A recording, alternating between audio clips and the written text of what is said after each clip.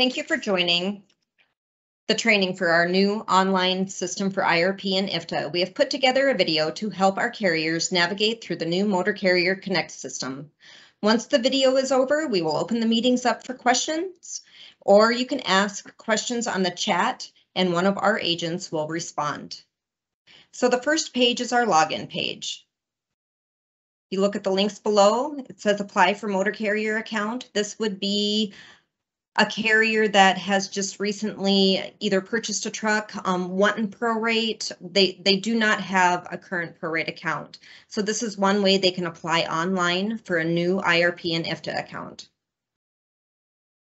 This link here is if you forget your username. If you click this link, put your email in, it'll send you a new username for your account.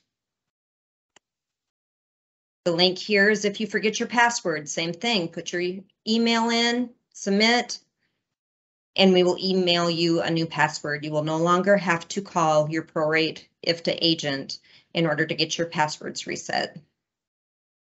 And this link here is to request internet access if you don't already have it. Um, 99% of our carriers already have access to their online accounts, being IFTA is required to file and pay online.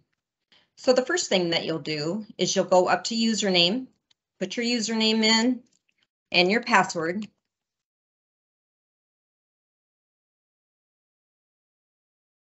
And then you've got the terms and conditions of use page.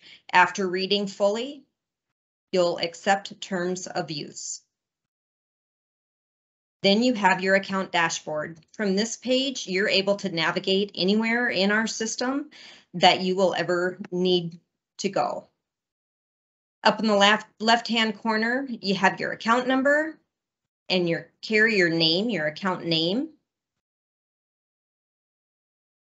It'll also show you if you have an amount due. We will come back to this page once we get some supplements added and there will be a balance in this area. The credit balance will show if you have credit on your account. So if you've mailed in a plate and it's inactive, it'll show up in the credit balance area. You can also refund from this page. And you can view the credit and see what that credit is for. Obviously, there's nothing in there because there's no, no credits available. Here it shows that we have an IFTA return that is due. So the first thing that you'll see is, oh my gosh, I need to go in and file that return. It's open and it's ready to be filed. I'm going to show you some of our quick links. This just gets you to the account dashboard, this page that we're looking at. The business, address book. This you can edit. So if your business happens to relocate, you'll be able to go in and update your address. The account address book is the same thing. You can edit or you can add if you want to add an address, if maybe you've um, purchased another building and want to add an address. Authorizations. So this page will show you who all has online access. So if you have a secretary that has quit and you can't remember whether or not you called the state and had her removed from your account, you can look at the screen and see if she still has online an online account. Your contact book, you can add a contact if you hire a new secretary, um, or you can edit if one quits and you can take them off your account. Identification. So this page is just going to show you what you have down for your DOT number, your EIN number. Um, you can search the DOT to make sure that it's all showing correctly. And it is, it's SD Training 7.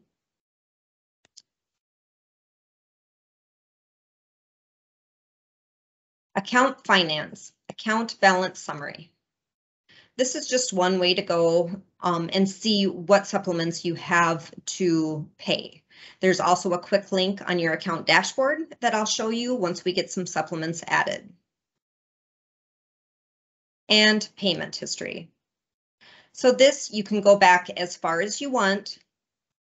This account is a new count, so we're only going to go back to June 1st. And you can pull up everything that you've paid since this account's been open.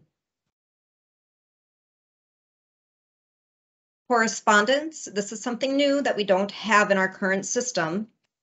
This is so that we can send you letters um, if we are missing something. It looks like we're missing a vehicle lien release. A title was mailed in, but we did not have the lien release, so we're waiting for you to mail that to us. We're going to download it.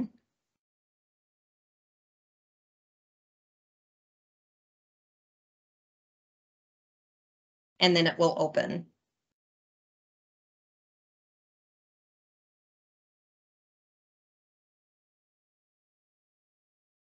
Fleet. Fleet address is the same. You can edit or add. Fleet listing. This is just a quick link that'll take you to your fleet listing.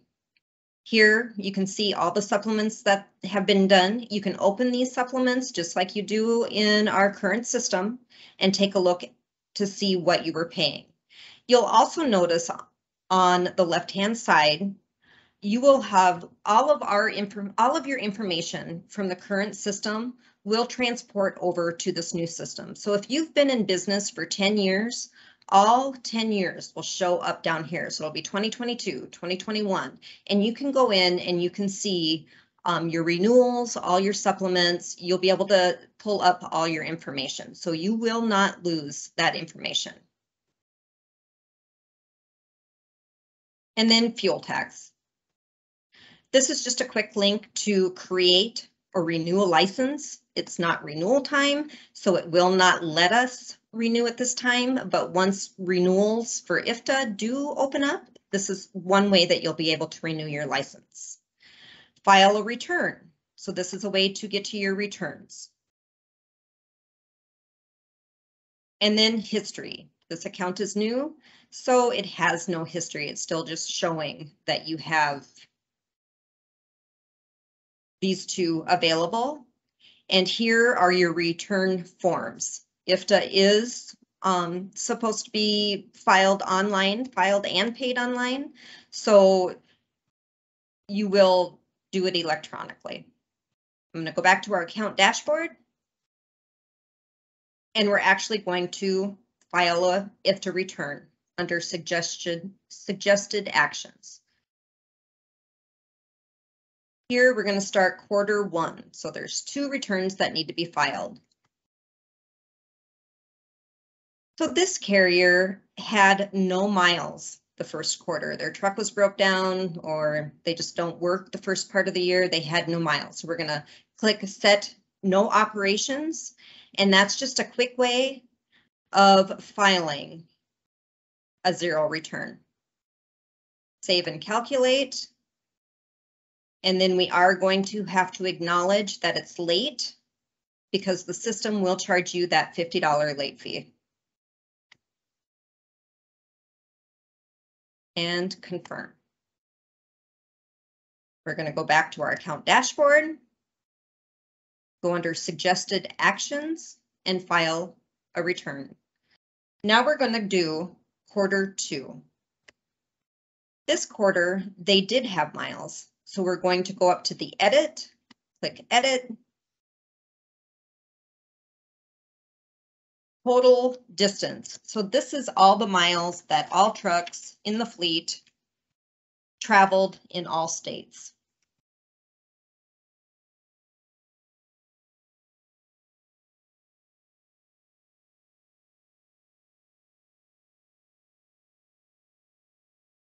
if you have to happen to be one of those carriers that um, are traveling in states that have the tax holiday, you would click yes on non-IFTA exempt distance or fuel.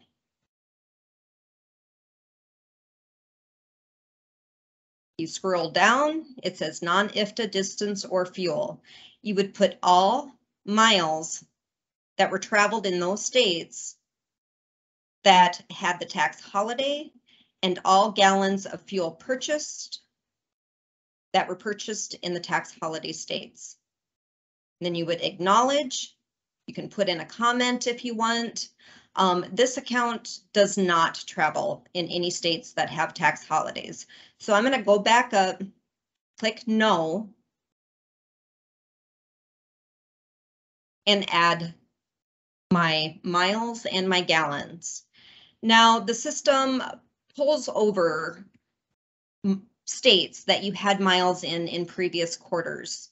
Um, so the states are already on here, but if you wanted to add, say, Alabama, you would just click add and it's there. If you wanted to add California, click add and it's there. Very similar to our old Explorer system. So this state had miles in South Dakota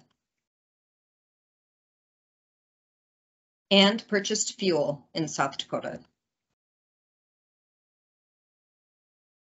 They also had Colorado miles and purchased fuel in Colorado. They had Minnesota miles but did not purchase fuel. They had North Dakota miles, did not purchase fuel, and Nebraska miles. And they purchased fuel. So this system also has a shelve option. So if for whatever reason you get pulled away from your computer and you're needing to go back to your IFTA quarterly, you can shelve it for later. Um, we are going to save and continue.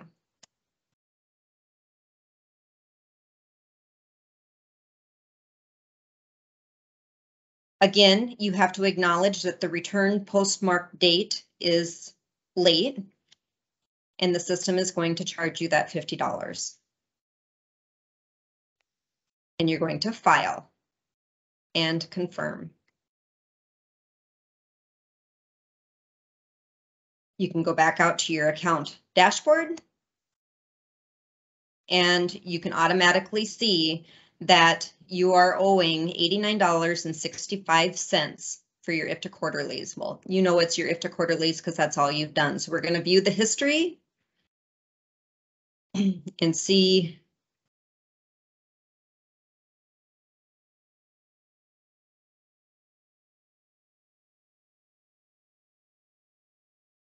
and that'll give you all the history of your payments. All right, so if you want to view a return, you can hit view a return right there on your home page. You can click on either one of these that you want. If you need to amend it, you can get to it that way also. You can also get to amend a return right there. It'll take you right back. It'll actually take you to the start amendment. If you needed to order additional decals, you would click on the 2022 year. And we're going to order two more sets of decals. And we're going to continue.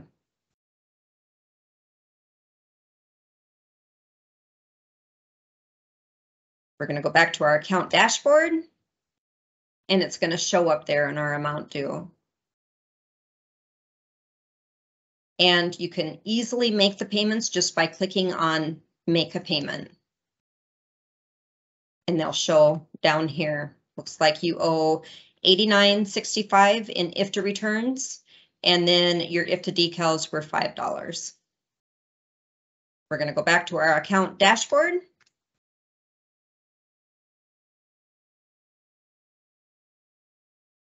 And then we're going to work on IRP under suggest suggested actions. You can also get to um, your fleet by going to the fleet over in the quick links.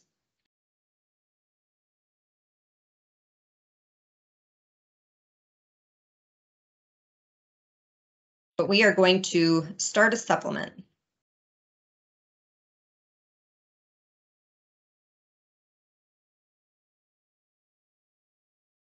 So the first unit that I'm putting in um, is wanting to be at a higher weight. It looks like they've got trucks at 80,000 and they have a semi trailer.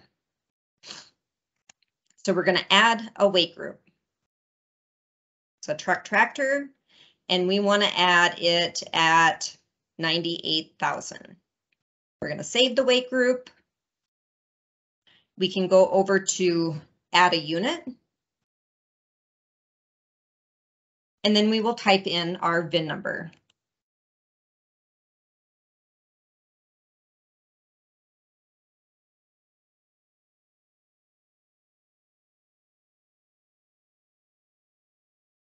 So this is a 2007 International. You want to make sure that all the information is correct. The model, the unladen weight on this unit is 17.5. It's got three axles. Quebec axles will automatically fill in for you. And then the color. This truck happens to be a maroon colored truck. The unit number, I'm going to make 8550.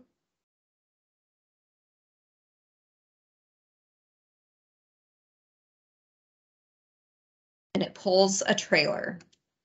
It's not a straight truck. It was purchased as used. The purchase date was the 3rd of August. We paid 25,000 for this truck. You have to click default factory price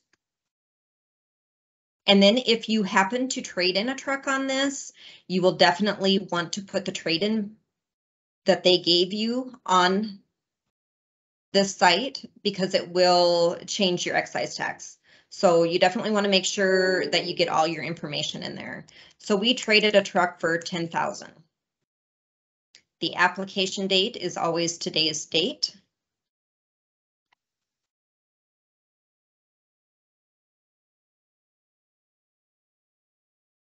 the owner information. So it's got to be exactly how you want it titled. So make sure that your title work shows this. This is how it's signed. The bill of sale is signed that way. And it's change of ownership because we've purchased it from somebody. And the title that you have in your hands, it came from Kansas, so it's a Kansas title. So you would put Kansas in there. And it is not a lease agreement. If it was a lease agreement, then you would put your lessor and lessee's name in and your lease start date to the end date. If you don't have a start date, end date, you can leave that blank. I'm going to move this back up. This was not a lease agreement, so I'm going to put no. You can validate your DOT number to make sure that you have all the correct information in there.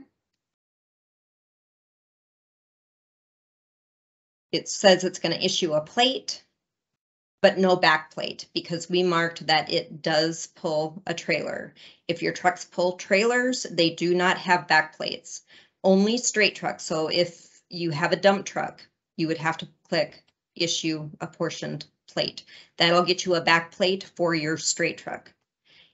This one pulls a trailer, so it does not need a black back plate. We do have a lien at the bank, so I'll click lien fee. I'll click title fee because you're going to mail that title into us and I'm going to get it put in your name and it's going to become a South Dakota title. And you're going to click excise tax. We're going to save the unit. And then you scroll down and you validate and calculate fees. there is a unit sitting out there that's inactive um, and it's asking if we want to exchange it. We do not because I'm going to show you that um, here soon.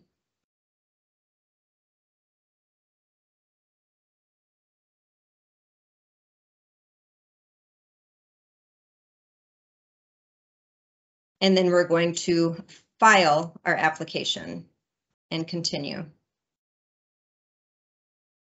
Here is the required materials. If you click on that, we now have an upload.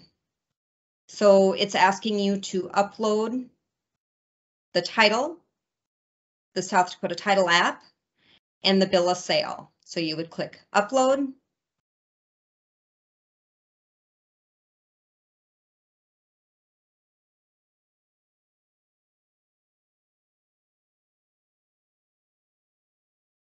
and that would upload it.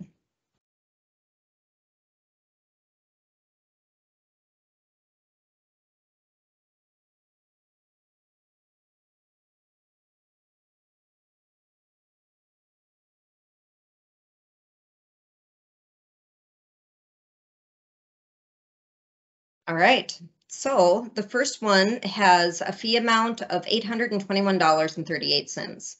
So you can pull up a billing statement that'll shows you, it shows you um what was charged for like excise tax in foreign jurisdictions.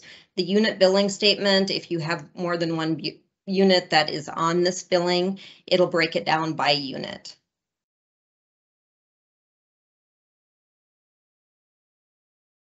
If you get out of the system before it's done, you can always go back to the supplement by clicking here.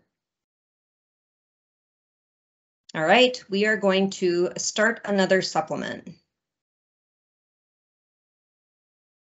So for this supplement, we are wanting to edit our weight groups. They have their trucks at 80,000 pounds, but they had a phone call that they are needing um, a higher weight in Nebraska. Let me see, where's Nebraska? Um, in Oklahoma. They want to go to 85.5.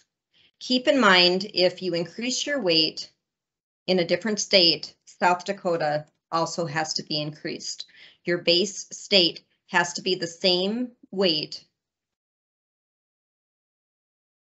or has to be at the highest weight of the group. So we're going to save it. And then we are going to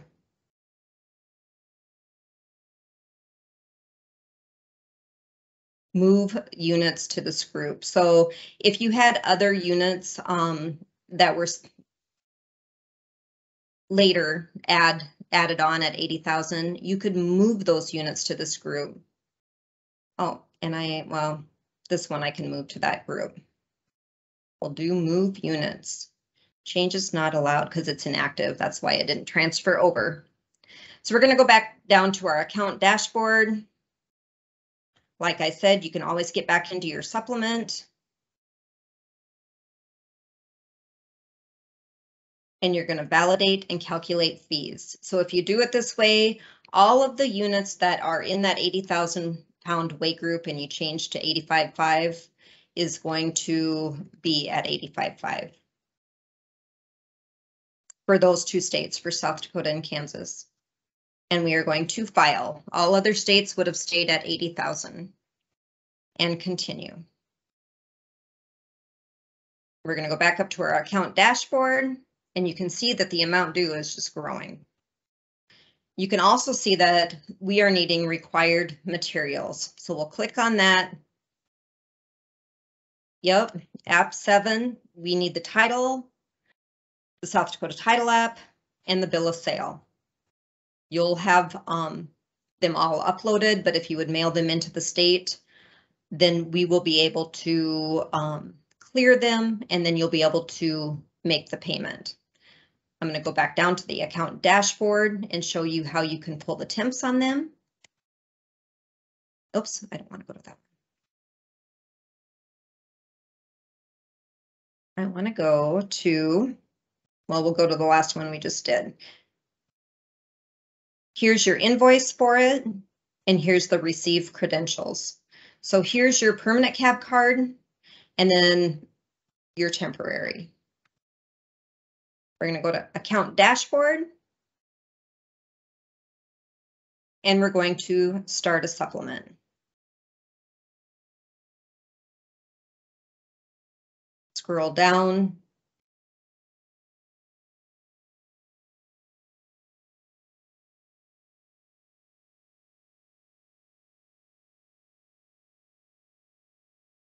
So if it's a larger account, um, uh, we have plenty of accounts that have page after page after page of units, and you have to flip through those pages in the old system.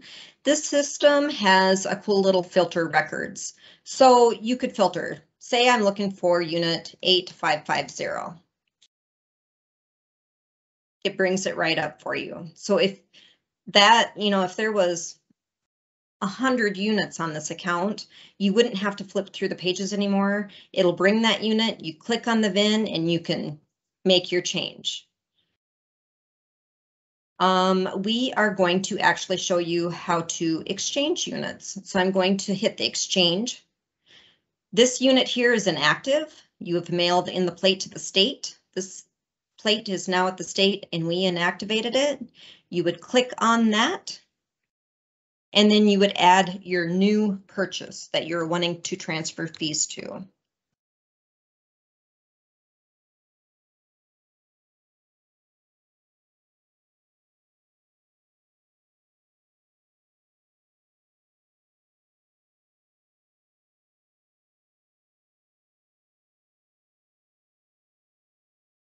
All right, it's a 2007 International. The unladen weight is 1700.